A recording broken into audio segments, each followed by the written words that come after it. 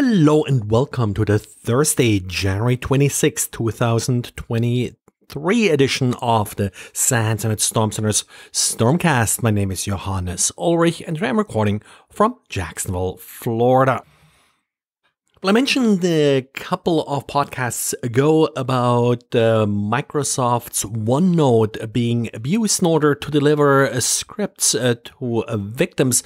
Well, uh, Xavier now wrote up uh, one example to walk you through the process of actually analyzing these malicious documents. The typical extension here is dot one and Didier luckily wrote a tool uh, to help you analyze it. So that's what Xavier uses here in order to walk you through how to extract the script in this particular case and introduce the mechanics of how uh, these malicious documents uh, work. It all starts uh, with, well, a OneNote document, of course, that has a big click to view a document button. And that's really sort of the entire or the big trick here. By clicking uh, the button, uh, the user will inadvertently open a document that will then launch the script. If you wonder why that button is kind of big and ugly, uh, well, uh, part of it may be to make it easier to hit the button, but also the actual malicious script is then hidden behind the button. The button is just a PNG and, uh, well, uh, serves not just to trigger execution, but also uh, to hide the actual malicious uh, content. If you run into any documents like that, uh, well, uh, please forward them. Always interested in uh, newish uh, malware. Blocking the dot .one uh, extension or dot .one, so it's spelled out, one extension is a commonly recommended countermeasure here. Uh, just uh, be careful uh, that users don't actually email OneNote documents to each other. Typically, I see them uh, being shared via cloud services, not so much uh, as email attachments, but uh, certainly possible that some people are sending them around as email. Now, one thing attackers uh, like to install on compromised systems is software that allows them to remote control the system. The problem here, of course, is that the software is then often identified as malware, and uh, that, of course, triggers an incident uh, report and gets the attacker kicked out of the network. What happens, on the other hand, is also that attackers are using legitimate software like AnyDesk or uh, software like that that's often legitimately used in order to uh, monitor and manage remote systems.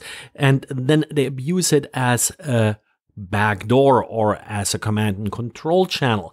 The NSA now came up with some guidance on how to secure this type of software. So you still may use it, of course, uh, for your own legitimate purposes, but you also need to make sure it can't be abused. And the reason why they sort of came up with that guidance is that the federal government has seen in the fall sort of uh, increase in attacks that took advantage of software like this.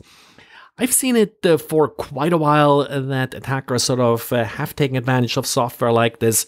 So nothing really new, but certainly important to consider how you secure this software and limit who and how it can be used.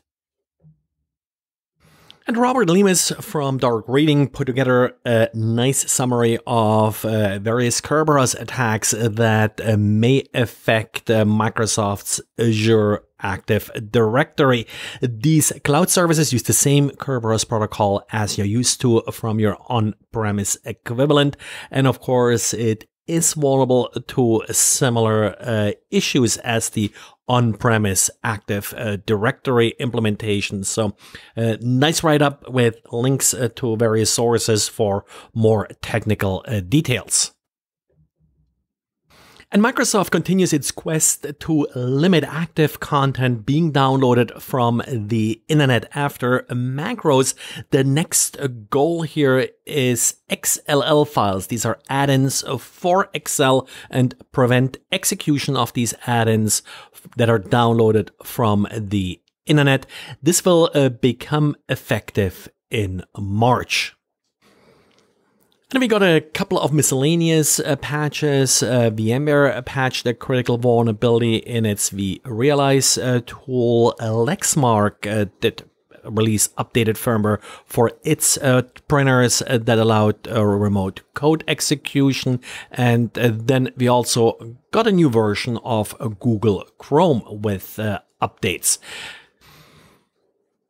Well, that's it for today. Thanks and for listening, and thanks for all of those who told me that uh, this podcast actually works quite well in Alexa.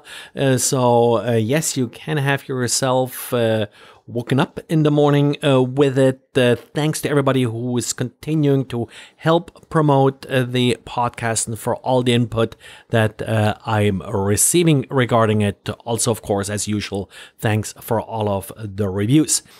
Well, that's it for today. Thanks and talk to you again tomorrow. Bye.